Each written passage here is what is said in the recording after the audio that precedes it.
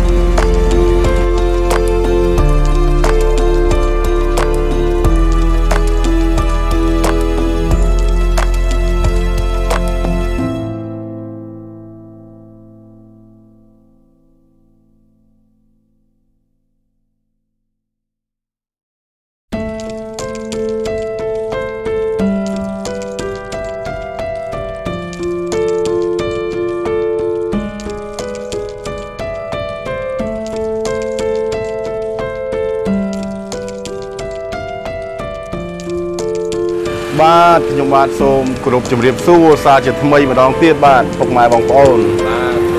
សួរទៅដល់ពុកម៉ែបងប្អូននៅក្នុងខាងក្រៅប្រទេសផងដែរបាទបាទថ្ងៃនេះខ្ញុំបាទបានធ្វើដំណើរចែកជាបាយប្រអប់បាទដើម្បីចែកជាបាយប្រអប់ជូនទៅដល់ពុកម៉ែបងប្អូនអ៊ំពូមីងជាមួយក្មួយដែលគាត់សឹកខ្សោយបាទដែលគាត់អឺរស់នៅតាមដងផ្លូវក្តីនិងអឺធ្វើកិច្ចការងារអីផ្សេងផ្សេងៗតាមដងផ្លូវក្តីបាទ ដោយថ្ងៃនេះខ្ញុំបាទមានក្តីសោមនររីករាយខ្លាំងមែនទែនបាទដោយបានទទួលបានថវិកាពីបងស្រីម៉ានីលីនិងព្រមទាំងស្វាមីដែលគាត់រស់នៅសហរដ្ឋអាមេរិកបាទដែលស្វាមីរបស់គាត់ខ្ញុំបាទសូមអធិស្ឋានផងលោកបងប្រុសបាទដោយសារខ្ញុំបាទភ្លេចឈ្មោះគឺអឺអឺជាស្វាមីរបស់បងស្រីម៉ានីលីបាទ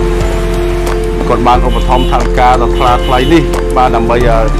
មកឲ្យខ្ញុំទិញបាយប្រអប់ពីបងអូនស្រីរតបាទដើម្បីចែកជូនទៅដល់អ៊ំពូមីងមួយក្មួយដែលគាត់មានជីវភាពខ្សត់ខ្សោយឥឡូវនេះខ្ញុំបានអឺវិចខ្ចប់រួចរាល់ហើយហើយខ្ញុំរៀបនឹងចេញដំណើរដើម្បីទៅចែកជូនពួកគាត់នៅតាមដងផ្លូវហើយជាពិសេសអឺបងស្រីក៏បានអឺផ្ដាំថាចែកជូនអ្នកបោ សអឺសម្រាមនិងអឺសម្អាតអនាម័យតាមដងផ្លូវបាទដោយគាត់អឺឃើញអឺនៅការតស៊ូប្រឹងប្រែងធ្វើកិច្ចការរបស់អំពូមីងក្មួយក្មួយគឺគាត់គាត់អាណិតណាបងអូនបាទបាទអញ្ចឹងគាត់បានអឺប្រាប់ពួកខ្ញុំឲ្យជាពិសេសឲ្យទៅចែកពួកគាត់បាទអញ្ចឹងអឺសូមពុកម៉ែបងប្អូនរីករាយទៅតាមដានទស្សនាបន្តទៀតពីសកម្មភាពពួកខ្ញុំដែលពួកខ្ញុំត្រូវទៅធ្វើដំណើរទៅទីនោះបាទ អញ្ចឹងអឺមុននឹងធ្វើដំណើរទៅមកមកជួបសំណេះសំណាលជាមួយបងប្អូនតាក់បាទពីអឺសកម្មភាពដែលពួកយើងទៅនឹងមធ្យោបាយដែលយើងធ្វើដំណើរហើយដាក់ម្នាក់ម្នាក់ប្រហែលប្រអប់អីចឹងណាបងប្អូនបាទឥឡូវបងប្អូនដឹកប្រហែលប្រអប់រួចមកទៅខ្ញុំមានម្នាក់25ហ៎បងហើយឥឡូវអឺមករត់គាត់ថាម្នាក់25ប៉ុន្តែដាក់2ថង់អ្នក2ថង់បាទពីថងឲ្យដាក់កោដល់ទេមកទៅដាក់គោពីលើគ្នាអាហ្នឹងទីសងខ្សែបង បាទតែយើងប្រុងប្រយ័ត្នផងចឹងបាទហើយអឺកិច្ចការមួយនេះគឺបងប្អូនសប្បាយចិត្តរីករាយអត់ទេបាយបងបាយបាយចិត្តរីករាយហើយជ្រះថ្លាបានបានធ្វើបុណ្យធ្វើទានបាទបាទហើយអឺអំពើល្អបាទបាទសំខាន់គឺថាពួកខ្ញុំគឺអឺមានអឺសេចក្តីជ្រះថ្លានិងអឺការចែករំលែកនៅសេចក្តីល្អមួយនេះបាទបាទដោយអឺការទទួលបាន ការឧបត្ថម្ភនិងគ្រប់គ្រងពីពុកម៉ែបងប្អូនអំពូមីងដែលមានសទ្ធាជ្រះថ្លាក្នុងការចែករំលែកមកកាន់ពួកខ្ញុំដើម្បីឲ្យពួកខ្ញុំយកទៅចែករំលែកបន្តនេះបាទខ្ញុំបាទក៏សូមជូនមគ្គផលបាទទៅដល់អំពូមីងផងបាទអញ្ចឹងឪពុកម៉ែបងប្អូនសូមអញ្ជើញទៅតាមដានទស្សនាបន្តពីคลิปវីដេអូរបស់ពួកខ្ញុំចេញដំណើរទៅចែកបាយប្រអប់បាទសូមអញ្ជើញបាទសូមបាយបាយ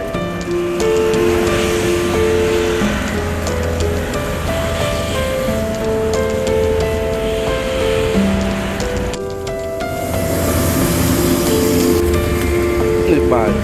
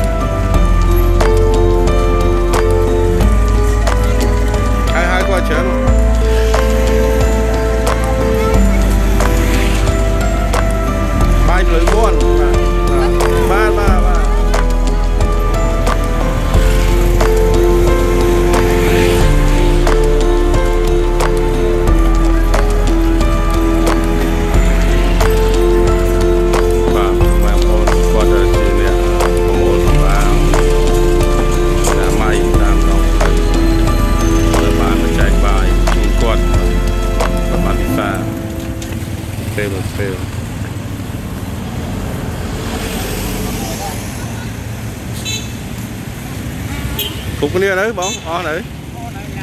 មកហើយមកហើយមកច្រើន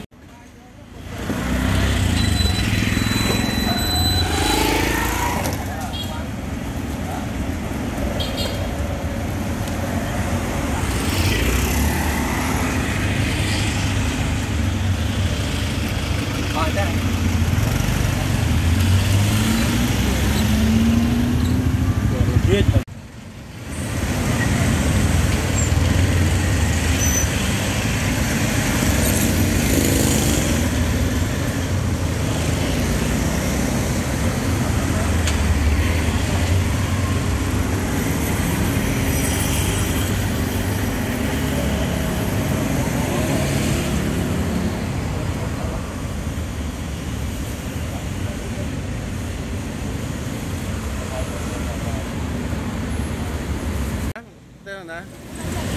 អឺ នាំនេះហូបបាយភ្លើងមន់ឆ្ងាញ់ហ៎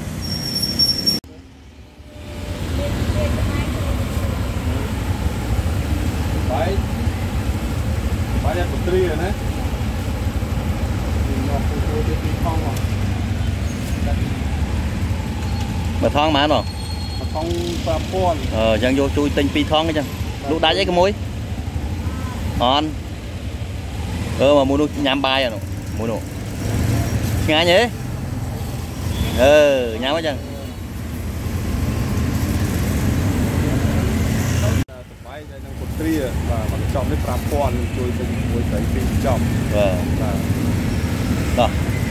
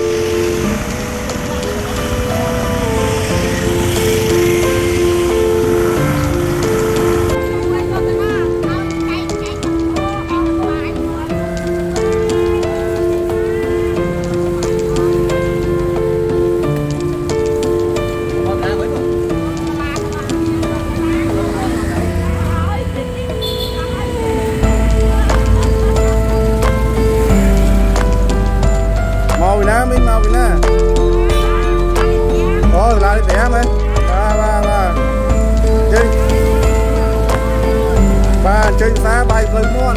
បាទនិយាយលាសិនហើយនិយាយលា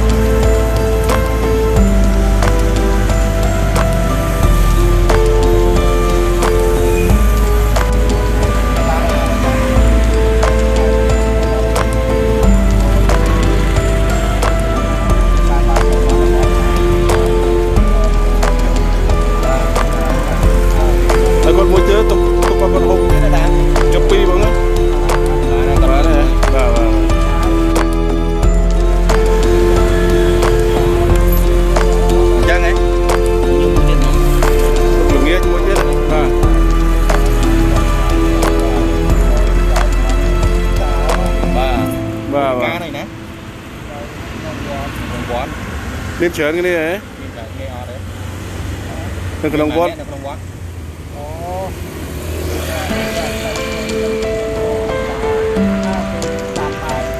ចឹងអត់ទេតាហ្នឹង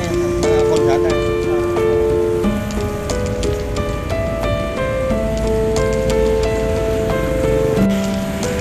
បាយផ្លូវមន់បាទនេះដើរដើរទៅយកពូដើរទៅយក